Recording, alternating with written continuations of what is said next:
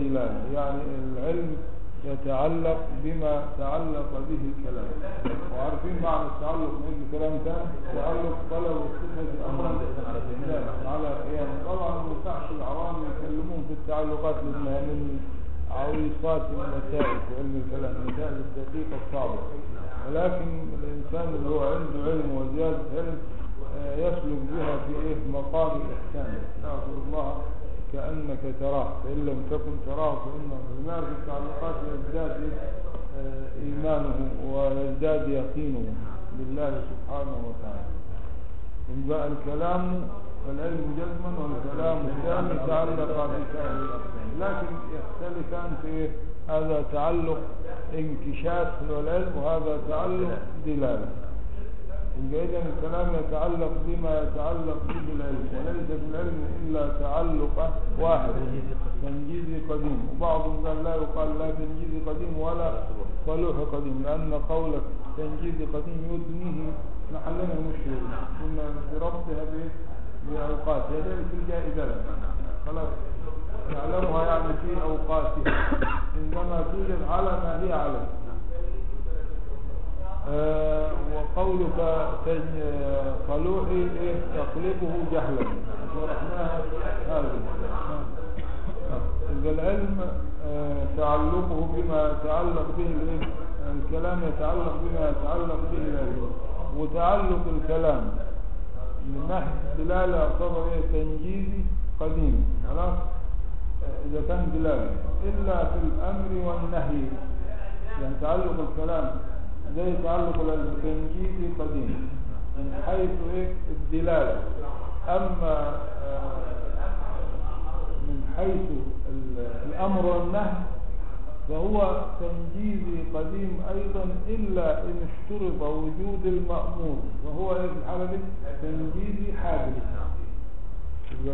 قبل وجود المأمور أو قبل وجود المنهي أيضا هو تنجيزي قديم أما إن اشترط وجود المأمور أو المنهي أو المخاطب حتى التنجيزي حادث ولذلك دخلت على بعض العلماء برضو الأشاعر قالوا أن الكلام لما تعلق بسيدنا موسى وهو موسى حادث خطاب يعني وقالوا أن موسى عليه السلام لم يسمع الكلام القديم إنما سمع الحادث. إحنا قسمنا إيه؟ نوعين نعم. دليل انه سمع حروف وأصوات وكذا دليل انه يعلقوه بالحادث لكن البعض قال لا أزيل الحجاب عن سيدنا موسى حتى سمع الصدق لا كيف ولا صوت ولا حتى خلاص إذا ممكن يقال هذا وممكن إيه يقال هذا لأنه لو جعل تعلق الخطاب آه، بوجود المخاطب لابد أن يقال هذا. لأن المخاطب إيه لا شك أنه إيه حادث نعم. ويبقى له صلاحي قديم برضه يا مولانا. في أعلى للخطاب عندما يوجد. والكلام يدل على ما ذكر يعني على ما ذكرناه من تعلق أقسام العلم. دلالة مستمرة بغير انقطاع. لأن كلامه تعالى أزلي ومعلوماته تعالى علمه تعالى؟ أزلي. أزلا وأبدا. شو كلمة أزلا عشان يفيد إيه؟ جانب الماضي في البداية وأبدا عشان يفيد الاستمرار في جانب؟ المستقبل هذا بالنسبة لنا لكن إذا قلنا أزلي يبقى معناه كده نعم إلا إذا إلا إذا فرقنا وقلنا كل ما هو أزلي فهو؟ أبدي ولا إن الروح مثلا والجنة والنار أبدية ولكنها ليست أزلية إذا مقسم كده موجود لا بداية ولا نهاية. هذا أزلي وقريب موجود. تمام كده؟ وفي بعد اسم ثاني بداية ونهاية. بداية ونهاية. لا بداية ولا نهاية ده أزل بداية والنهاية ده حاضر. بعد كده إيه؟ آه بداية ولا نهاية. الذي وعد الله رسوله إيه واجب أو باقي لغيره وليس لذاته في قسم رابع لا يوجد. هو له بداية. لا بداية ولا بداية لا ليس له بداية وله نهاية. ده لا يوجد. آه. إذا لم يكن له نهاية يبقى له بداية. نعم. يعني ما ليس له نهاية زي نعيم الجنة. لا يتناهى لكنه له بداية. بداية. لكن عاوزين العكس. لا بداية لا بداية هذا القديم. لا بداية. هم عاوزين نمثل نمثل إيه؟ مفيش بداية. نمثل بداية ونثبت إن هذا مسؤول يعني له بداية وليس له بداية. وله نهاية ده مش ما هو العدم لا بداية ولا نهاية. أجل. عدمنا. نعلم له نهاية. اللي هو أعلمنا إحنا. برضه له بداية إنها لا يزال. لا. يقل لا لا ليس له ليس داخلا في العدم ها؟ تنتهي تنتهي بوجودنا فيما لا مش تنتهي تنقطع تنقطع بوجودنا فيما لا يزال. أما لا في الأزل لا. لو انقطعت الأعدامنا الأزلية لكان لنا وجود في الأزل. لأن شاركنا الله تعالى في صفة أو في وصف الأزلية. وهذا محال لأن الأزلية لم يشارك الحق سبحانه وتعالى فيها شيء نعم. فهو تعالى به يعني بصفة الكلام أو بكلامه آمر ناه مخبر فهو في نفسه واحد. لا لم يدل لا عقل ولا نقل على أن الكلام له ثاني يعني له قسم ثاني والكلام واحد. ولكن إن تعلق بالأمر سمي سمي بها آمرا بهذه الصفة. وإن تعلق بالنهي سمي ناهيا وإن تعلق بالخبر سمي مخبرا. يعني مثلا زي الإنسان هذه أنا متكلم. كل ده كلام أمر كلام نهي كلام خبر كلام الكلام واحد.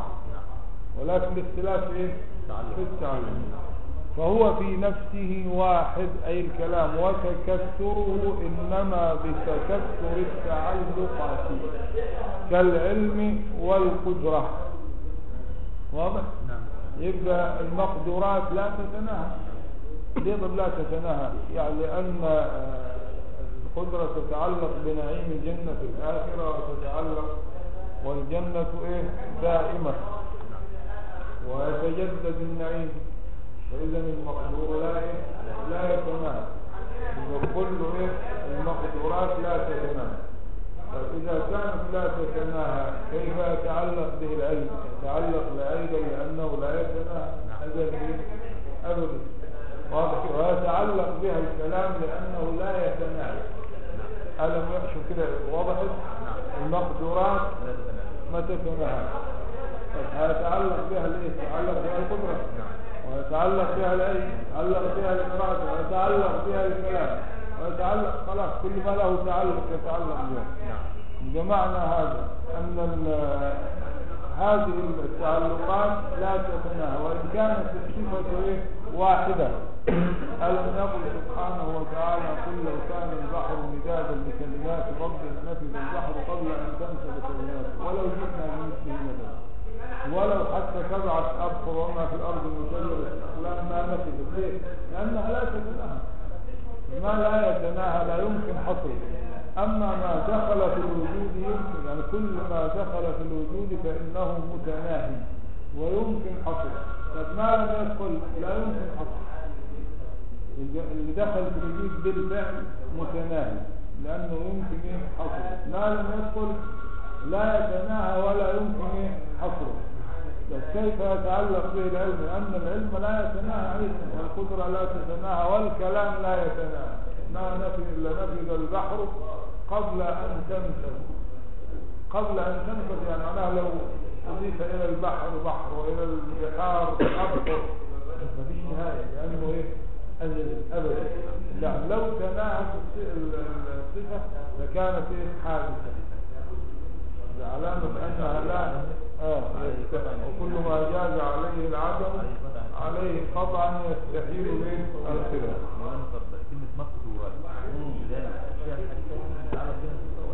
يعني هي ممكن أن توجد وتعلق بها العلم. سواء وجدت أو لا توجد. لم, لم توجد يعني ستوجد ولكن في إيه؟ في أوقاتها. بدليل تعلق العلم بها يعني هل مثلا ممكن أن يوجد في الخارج ما لم يكن في العلم أو ما لم يتعلق به العلم؟ شوف كده ناخذ قاعدة فيما ما لم يتعلق به العلم ليس بمعلوم. كده لأن العلم تعلق بكل معلوم. الشيء اللي هو لم يتعلق به العلم يعني ليس بمعنى. ولذلك يجوز أن تقول هذا ليس في علم الله. إذا كنت تعلم أنه مستحيل الوجود. يعني لو قلت كم فاكر العبارة قلناها لو قلت أن الله تعالى يعلم يعلم يعلم؟ هنا تعلق لما قلت يعلم يعني معناه في تعلق. لا يعلم يعني نفيت التعلق. يعلم أنه ليس له زوجة أو ليس له ولد. أليس كذلك؟ إيه بلى. طب لو قلنا الله تعالى لا يعلم أن له غير صحيح العبارة الله تعالى لا يعلم في السماوات أو في الأرض أن له شرك قل أتنبئون الله بما لا يعلم. يبقى إذا ما ليس في العلم. ليس بمعلوم. بس كيف يتعلق به العلم؟ على أنه ليس بمعلوم أو على أنه ليس. أو على أنه مستحيل. ولذلك علم ما كان كيف يكون وما لا يكون كيف لو كان يكون. معناها هذا غير غير موجود يعني مستحيل. إحنا بنقول يتعلق العلم بكل معلوم. بقول لك العلم المعلوم ده ممكن يكون معلوم موجود ومعلوم أنه لا يوجد. لا يتعلق به العلم من جهة أنه ليس بمعلوم. تلزع أو من جهة أنه ليس ليس بموجود يعني ليس بمعلوم. وضحت ولا فيها من يبقى ينفع كده. تقدم النفس أو تقدم الإثبات. الله يعلم أنه ليس له ولد الله لا يعلم أن له ولد النفي نفس نفس الموضوع.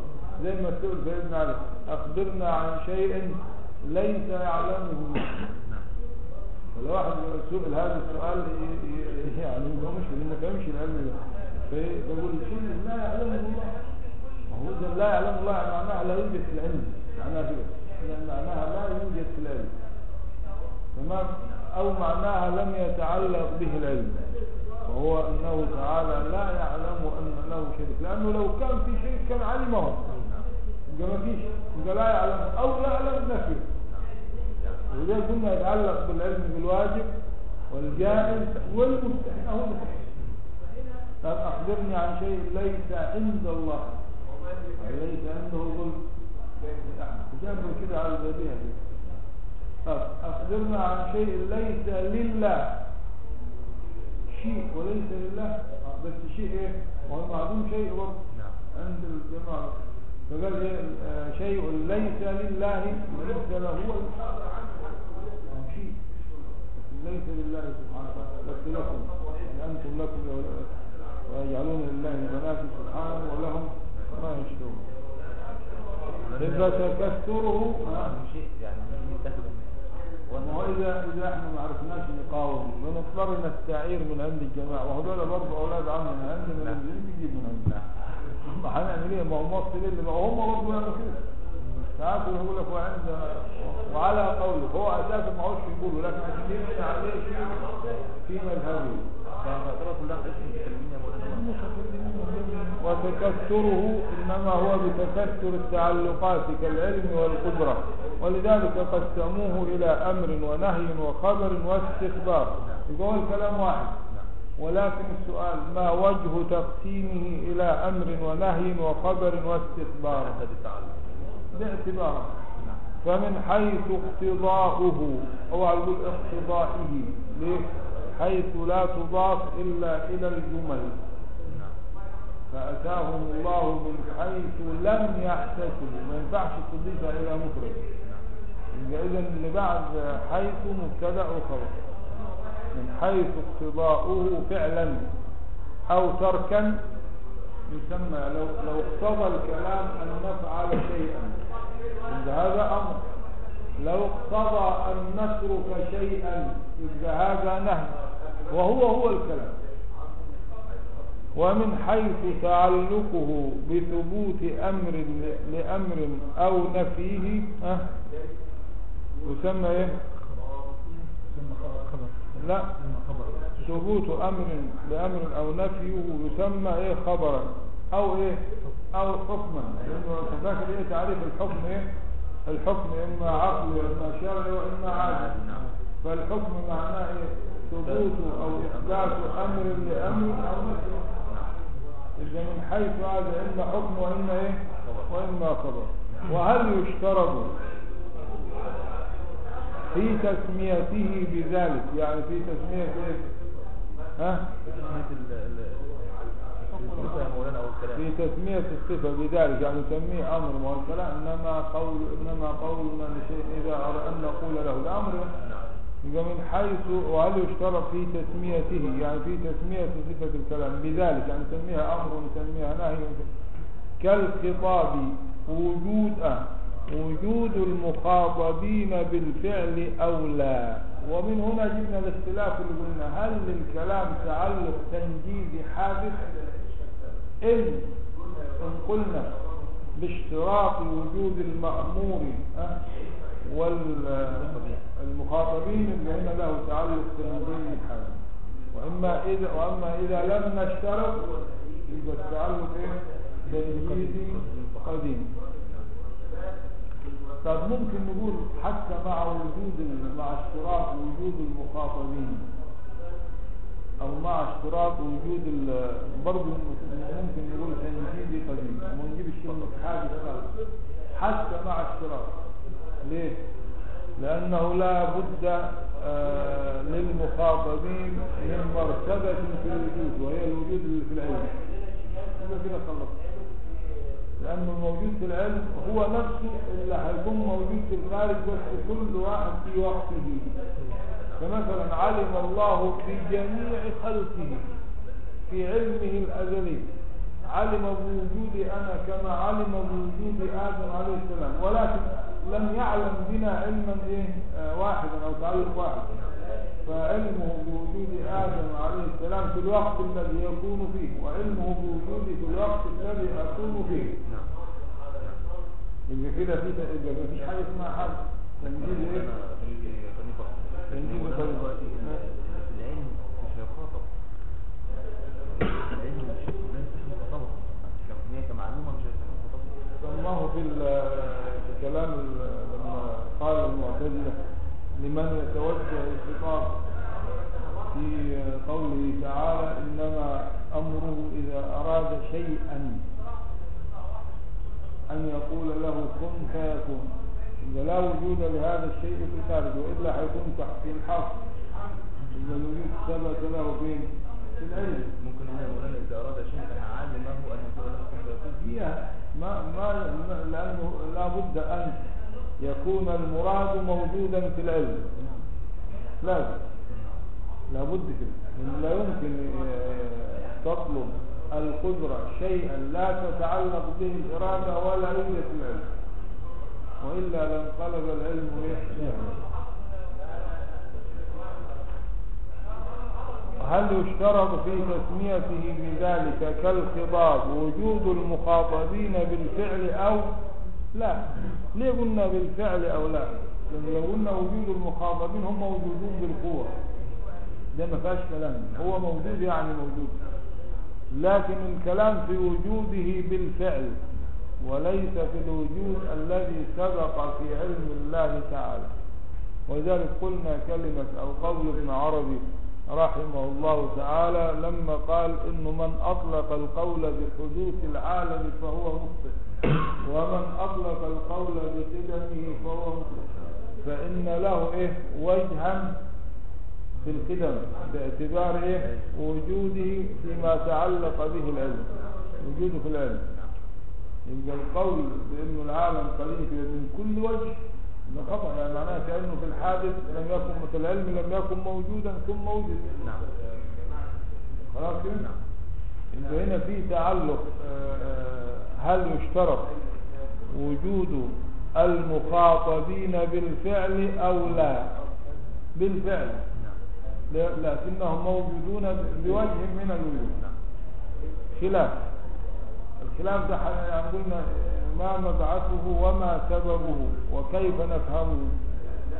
قلنا لما يقول كلمة إيه؟ خطاب الله. الحكم الشرعي هو خطاب الله المتعلق بأفعال المكلفين. طب خطاب الله تعالى قديم. والمكلفون وأفعالهم حادثة. يبقى في هذه الحالة نفر بعض العلماء من تسميته بخطاب. وقال كلام الله. عشان لا يضع في اعتباره وجود مين؟ وجود المخاطب أما قلنا لو وضع في الاعتبار لا مشكلة إذا كان الوجود في العلم. أما إذا كان الوجود الفعلي هنا إيه؟ يأتي الإشكال وهنا نقسم التعلق إلى تنجيز قديم وإلى تنجيز حادث. خلاف وينبني عليه الخلاف في الأحكام. هل هي حادثة أه؟ أو قديمة؟ يعني الحكم باعتبار تنزيل شوف حل كده باعتبار تنزيل من سيوجد منزلة الموجود اكتفاء بوجود المأمور في عالم الأمر. في علم في علم الأمر. اكتفاء بوجود المأمور في علم الأمر. أي؟ نعم؟ آه صح تمام. في علم الله يعني. ولا إحنا قلنا في علم الآمر. أو حتى في علم الأمر لأن الأمر فيه علم لأن هذا الأمر موجود في العلم. وله تعلقات اللي هو إيه؟ الكلام. ثلاثة. يبقى الآن حنتكلم في حصر تعلقات صفة الكلام. ده اللي وقفنا عليها أظن.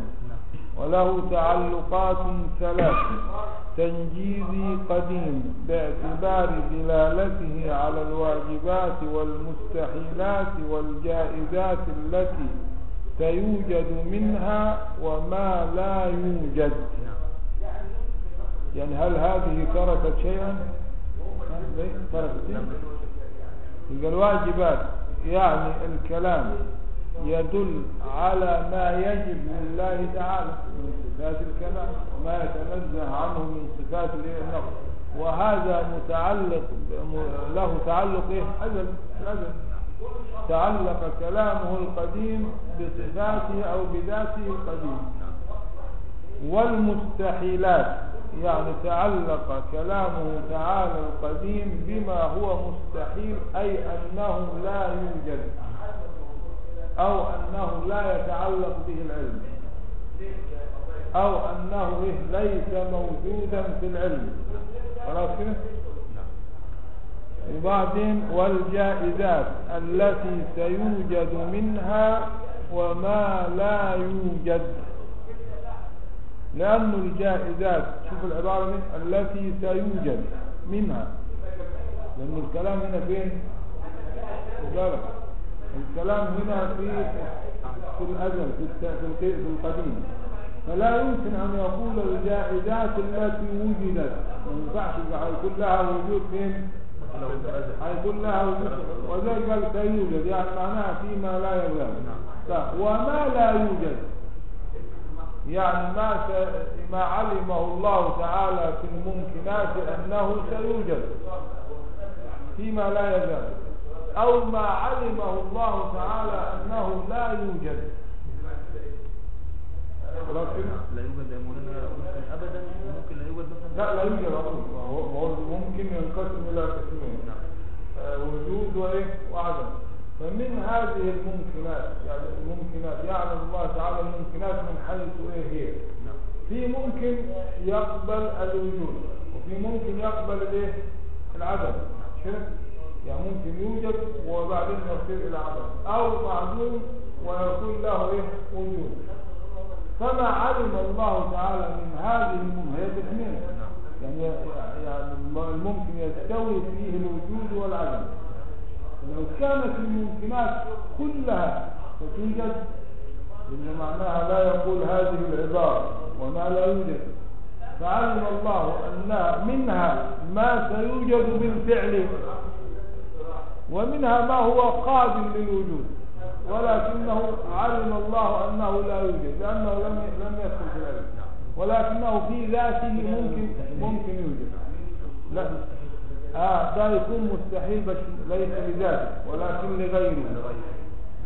لأنه لأنه آه لأن لأنه مثلا وجود شمس ثاني بالشمس الشمس اللي إحنا دي ممكن ولا مش ممكن؟ ممكن. لكن تعلق علم الله تعالى أنه لا يوجد في الوجود إلا شمس واحدة إذا الشمس الثانية هي جائزة في نفسها ممكن لا. لكن كون علم الله تعلق بها أنها لا توجد فهي مستحيلة بس لغيره. وليس ليه؟ وليس بخلاف الشريك لله. لا يوجد ولا يمكن أن يوجد. أما الشمس أو مثلا فرس له جناحان. ده ممكن يوجد. الله ممكن يخلي الفرس ليه 600 جناح زي أو 700 جناح لكن هل سبق في علم الله أنه سيوجد مثل هذا النوع من الفرس؟ لا. يبقى هذا مستحيل بس مش مستحيل لذلك. مستحيل لأنه لم يتعلق به العلم. يعني لم يسبق في علم الله تعالى أن هذا النوع سيوجد. زي شمسين في الدنيا أو قمرين أو ثلاثة؟ والعنقاء وعلمت أن المستحيل ثلاثة. الغول والعنقاء والخل والوصل نجرب الناس قال سيدنا الإمام أبو حنيفة بن عاشر الناس خمسين سنة. فما وجدت أحدا غفر لي ذنبي. كله ده حد كله بيشوف. إذا فمشيهم على أساس إنهم ممكن. يحب المغفرة ويحب الرحمة والصف وهم لا يصفحون عن أحد ولو كانت بأيديهم مقاليد الأمور لادعوا الألوهية. وفعلا منهم من ادعى ذلك. حتى الإله الإله موصوف بالصف والعفو. يعني بني آدم حتى لما يدعي الألوهية يقلب الواجب مستحيل. يمشي يخليها على ما هي عليه. برضه هيبدلها إلى قبله يعني مولانا يكون القناة في البيت فين؟ لا لا لا. ده موجود مشهور يعني ده مش مشهور يبقى ينبني عليه الخلاف في الأحكام هل هي حادثة أو قديمة باعتبار تنزيل من سيوجد منزلة الموجود اكتفاء في علم الآمر وله تعلقات ثلاثة تنجيزية قديم وبعدين تعرفنا تنجيزي قديم؟ صح. وصلوحي أو صلوحي قديم باعتبار دلالته على الأمر والنهي قبل وجود المخاطبين شفت كده؟ يعني قبل أن يوجد يتعلق بنا الكلام تعلقا صلوحيا بمعنى إيه؟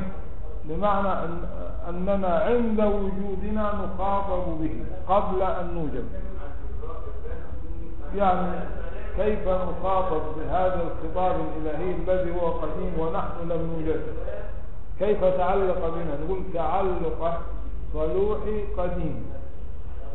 مش تعلق تنجيزي وتنجيز حادث عند وجودهم وممكن نلغي الاثنين نخليهم واحد.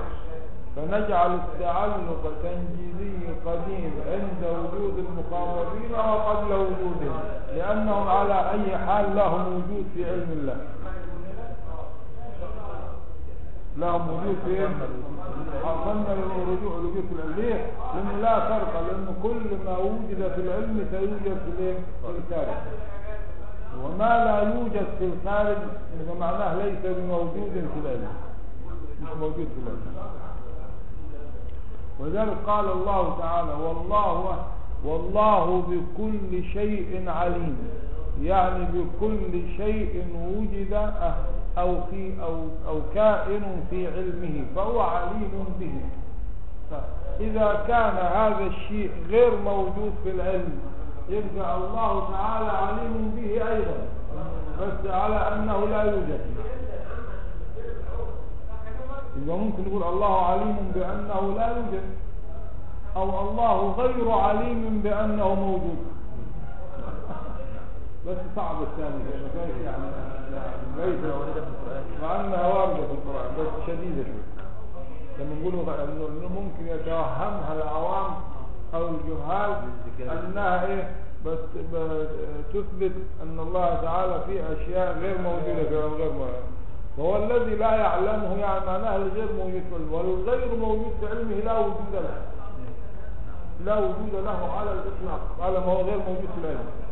لكن الموجود آه، في العلم له وجودان وجود قبل أن يوجد في العلم ووجود بعد أن يوجد في الخارج أو في الواقع.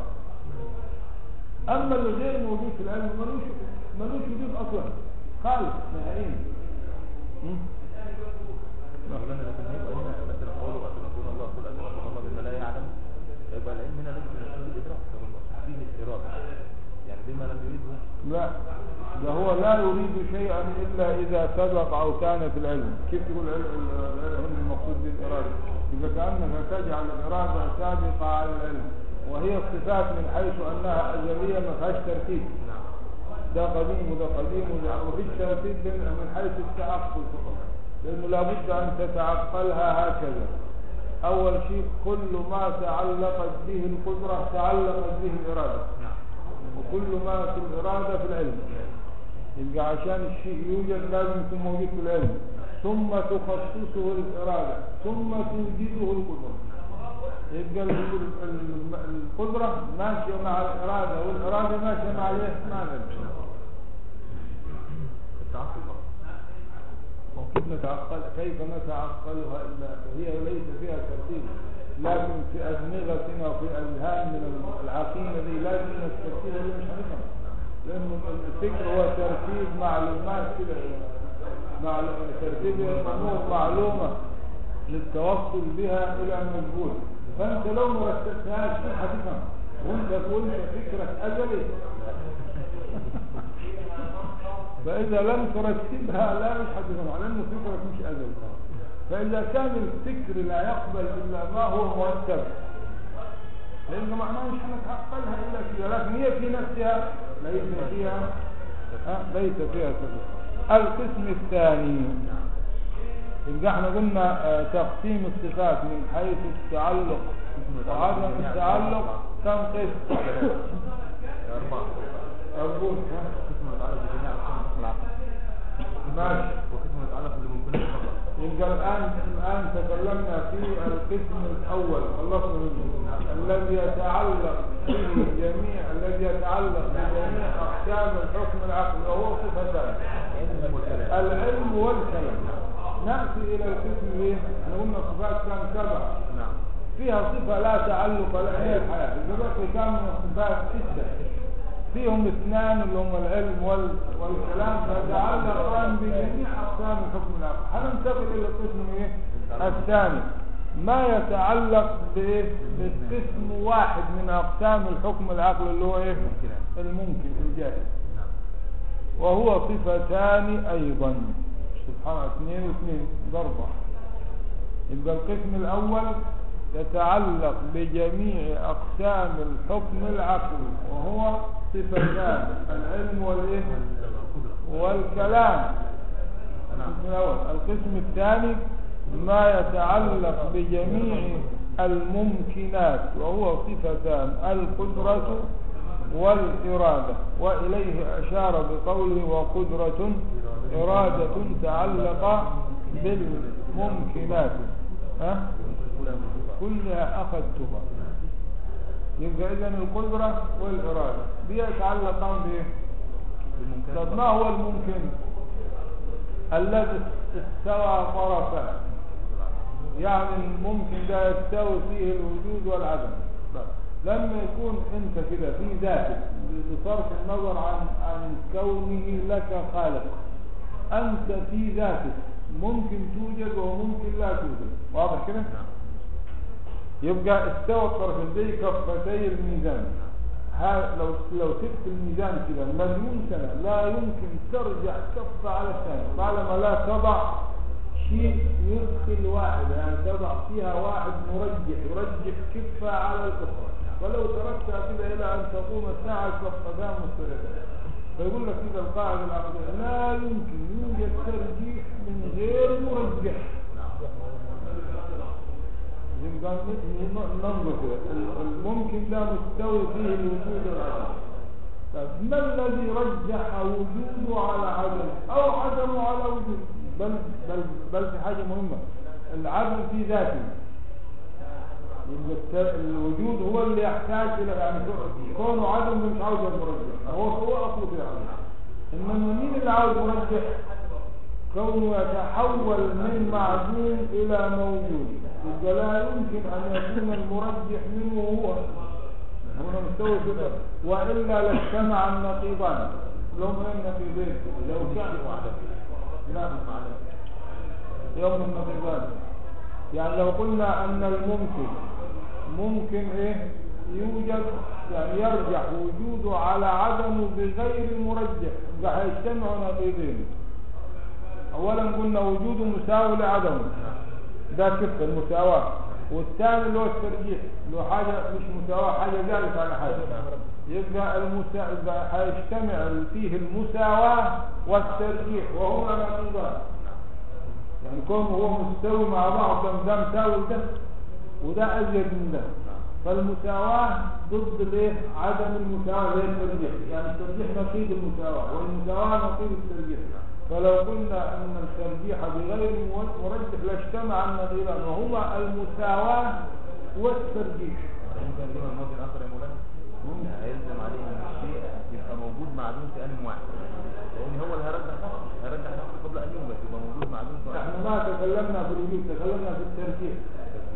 اللي هو بتاع الإرادة اللي هو التخصيص. ده إنما أنت تكلمت فيه على أنه وجد بعد وجوده كان في قبوله للوجود يعني مثلا قبل أن بعد أن يوجد خلاص ده موضوع ثاني إنما قبل وجوده. عاوزين نرجح واحد على واحد. بصرف النظر بعد الترجيح ده هيوجد أو لا يوجد. ممكن نرجح زي يصدر القرار فلان ده أحسن من فلان وأولى بالتعيين في هذه الدرجة. كلنا اتفقنا على كده ومع ذلك ما صدرش قرار ما فيش ده موضوع ثاني عاوز القدرة ده الآن بنتكلم في الإرادة دلوقتي. يعني اللي خصص هذا الوجه على هذا الوجه. لو قلنا في مخصص في تخصيص بغير مخصص يعني معناها اجتمع إيه؟ النقيضان. واجتماع النقيضان محال في العقل.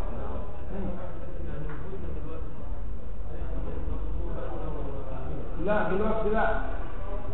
في ذاتك قبل وجودك اسمك إيه ممكن. يعني مستوى فيك ان توجد وان لا توجد. عاوزين يعني قلنا قبل الوجود. العدم ده ذاتي فيه بس كونك ممكن يعني معناها فيك حيث شيء واجب. في مستحيل وفي ممكن. في معنى الواجب وهي معنى المستحيل وهي معنى الممكن. لا وال- والممكن يقبل والممكن يقبل. يقبل. لا. لا يلزم. نحن بنتكلم هنا على قبوله للوجود وليس على وجوده لأن الممكن لو لم يكن قابلا للوجود لما وجد. أي شيء ليس مثلا ال- المعدوم على نوعين. في عدم ذاتي ده المستحيل. يعني معناها لا يقبل الوجود أبدا لأنه عدم ذاتي ده إنما في عدم اللي هو عدم الممكن. هذا يقبل بس عشان يكون يقبل واحد على الأخرى لازم يكون في مرجح. والمرجح لا يمكن أن إحنا عندنا أقسام ثلاثة ممكن وواجب ومستحيل. طيب الممكن لا يمكن يكون ترجيح طرف على طرف من نفسه. لازم يكون في مؤثر خارجي. المؤثر الخارجي لن يبقى معنا إلا المستحيل وإلا الواجب طيب المستحيل ده عدم محض ذاته لو كان يرجح لأعطى لنفسه الترجيح من باب أولى الش- هو نفسه لا يوجد فكيف يعطي الوجود لغيره؟ المستحيل ده إذا لم يبقى إلا أن يكون ترجيح الممكن من الواجب. إذا فالواجب هو الذي رجح أحد طرفي الممكن على الطرف الآخر. الترجيح ده عبارة عن حاجتين. ترجيح تخصيص يعني في الإرادة تخص هذا الوجه دون هذا وبعدين ترجيح تأثير اللي هو القدرة واضح؟ لكن إحنا الآن يا مولانا ممكنين من حيث ممكن يتقبل فين؟ حاليا ممكنين. أنت الآن بعد وجودك مش ممكن. أنت أصبحت واجب لغيرك. يعني مثلا لو قلنا كده هل يقدر الله تعالى على أن يخلق حسنا ما ينفعش السؤال ده القدرة لا لا تتعلق. بعد وجودك أصبحت واجب لغيرك. ان كمان سبق في العلم. ولو تعلقت القدرة بوجود ما هو موجود فهذا عبث تحصيل حصل طيب ولو تعلقت القدرة بالمستحيل لانقلبت الحقائق. لا تتعلق القدرة إلا بالممكن. أه؟ قبل أن يوجد. أما بعد وجوده صار واجبا لغيره. واضح ولا مش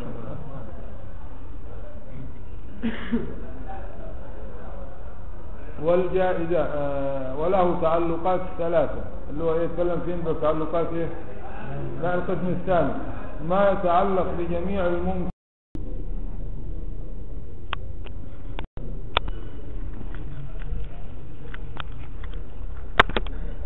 خلي الناس من أمريكا تقرأ غير مصريين من أمريكا لا يطلع حد يجينا من كندا كمان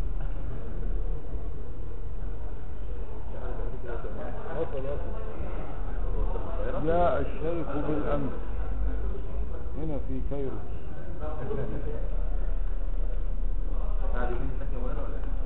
لا أسبوع. مشى يوم السبت يوم السبت. سافر يوم السبت الماضي. مؤتمر حوار الأديان. يعني نحاور بناء على قوله تعالى قل يا أيها لا أعظم ولا أنتم ولا هو ده الحوار. القرآن خلص لكم دينكم ولي دين عايز اخد منك ثلاث أربع دقايق داخل أشوف إيه اللي حصل ده آه. يجيلك حاضر وأنا اليوم آه، يعني حبيت بس يعني آه، آه، اهنئ بسلامة الوصول. صراحة الحمد لله. الشيخ. زعلت لما